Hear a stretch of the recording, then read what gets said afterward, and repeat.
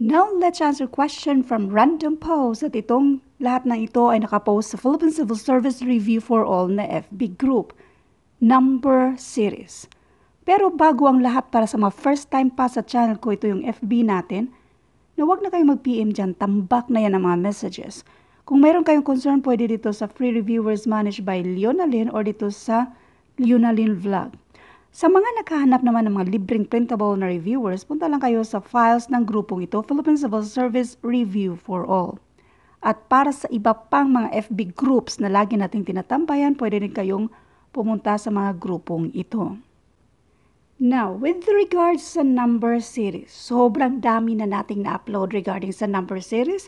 Para sa iba pang example, pwede niyong i-search, pero laging isulat yung Lunalin para madaling ma-sort out yung mga dati na nating na-upload regarding sa number series.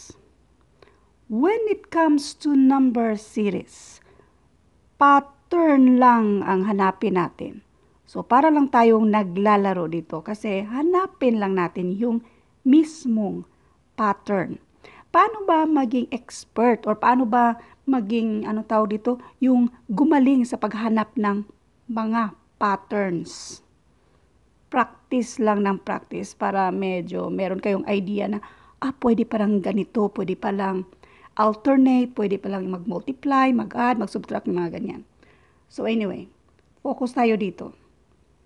We have 2 minus 2, 7, 3, 17. Yan yung hinahanap. Tapos next, 32, then 13. Now, meron tayong nag-iisang negative dyan. So, importanteng alam nyo kung paano mag-add and subtract ng mga unlike signs. So, for more examples sa mga unlike signs, pwede nyo i-search Leonalyn unlike signs para sa iba pang detalye kung paano mag-add and subtract ng mga unlike signs. So anyway, kung obvious para sa inyo na alternate ito, yes, alternate nga naman ito. 7 minus 2 and that is 5. Therefore, mag-add tayo ng 5 sa 2 para maging 7. 17 minus 7 and that is 10. Therefore, mag-add tayo ng 10 sa 7 para maging 17. So, tingnan natin ito, ang ka-alternate niya na 32. Kunin natin yung difference. 32 minus 17 and that is 15. So, therefore, nag-add tayo ng 15 sa 17 para maging 32. Now, dito tayo sa negative 2, paanong naging 3? Kunin natin yung difference dyan. Ang difference dyan ay positive 5. Therefore, mag-add tayo ng 5 dito sa negative 2 para maging 3. Ang tanong, paano mo nakuha yung difference dyan, ma'am? 3 minus negative 2 meron tayong recently na, na video na i-multiply mo lang yan and that is positive. So, 3 plus 2 equals 5. So, therefore, nag-add tayo ng 5 dito sa negative 2. Kung paano yan? Negative 2 plus 5. Unlike signs yan siya, kaya i-minus natin. 5 minus 2 and that is 3. Kopyahin yung may malaking value which is yung positive, positive 5. So, this is positive 3. Isa pang paraan kung paano mag-add ng mga unlike signs, may utang kang dalawa, magbabayad ka ng tatlo. So, meron kang positive 3. Kaya ito ay positive 3. Next, ano kaya ang i-add natin? Could be plus 10 na pareho itong isang ka-alternate na 5, 10, 15. So, itry natin mag plus 10.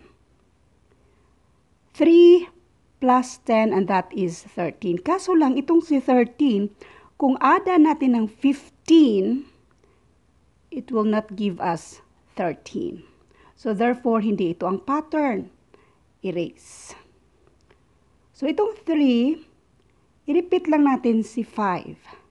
Ada natin ng 5 pattern. 3 plus 5 and that is 8.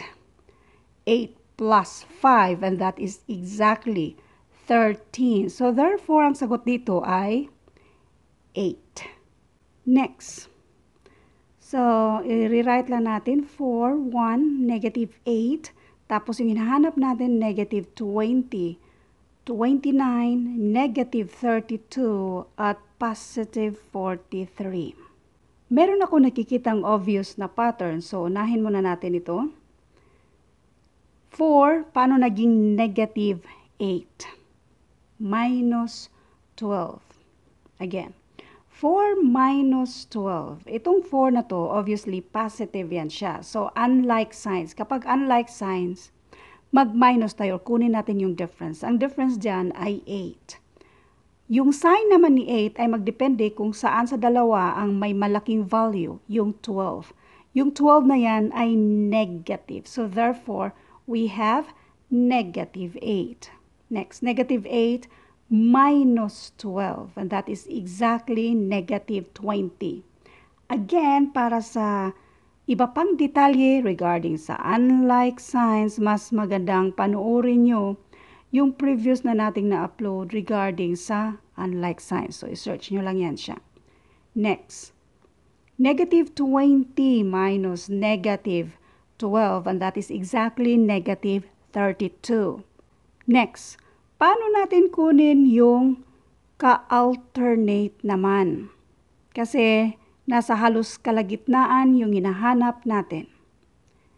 Dito tayo sa merong given dito. So kunin natin yung difference. 43 minus 29 and this is exact, uh, exactly 14. So nag-add tayo ng 14 dito sa 29 para maging 43. Now, gamitin natin itong 14. 29 minus 14. And this is, mag-minus tayo ng 14 dito sa 29. Kasi pababa naman itong mga numbers hanggang 1. So, 29 minus 14 and this is 15. Kung si 15 minusan natin ng 14, that is exactly 1. So, therefore, itong 1, nag-add tayo ng 14 para maging 15. Si 15, mag-add tayo ng 14 para maging 29.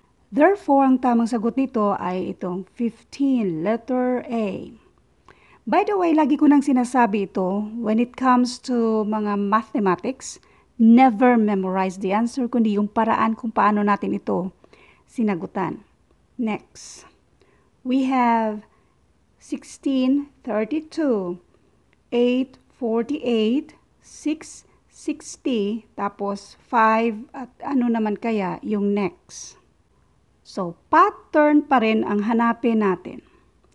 Napapansin nyo ba kung anong pattern dito? 32 divided by 16 and that is 2. Therefore, mag-multiply tayo ng 2 sa 16 para maging 32. Ito namang si 48. 48 divided by 8 and that is 6. Therefore, nag-multiply tayo ng 6 dito sa 8 para maging 48. Ito naman, obviously, ang i-multiply natin sa 6 ay 10 para maging 60. Ang tanong, ilan kaya ang i-multiply natin sa 5 para makuha natin yung tamang sagot? Ngayon, pansinin ang difference dito. Pareho yan silang 4. Pattern. So therefore, mag-add lang tayo ng 4 dito sa 10 para maging 14 at yung 14 na yan, yan ang pang-multiply natin sa 5 or 5 times 14 and this is exactly 70. Kaya ang sagot dito ay 70. Thank you for watching at abangan yung mga future videos natin. Thank you and God bless.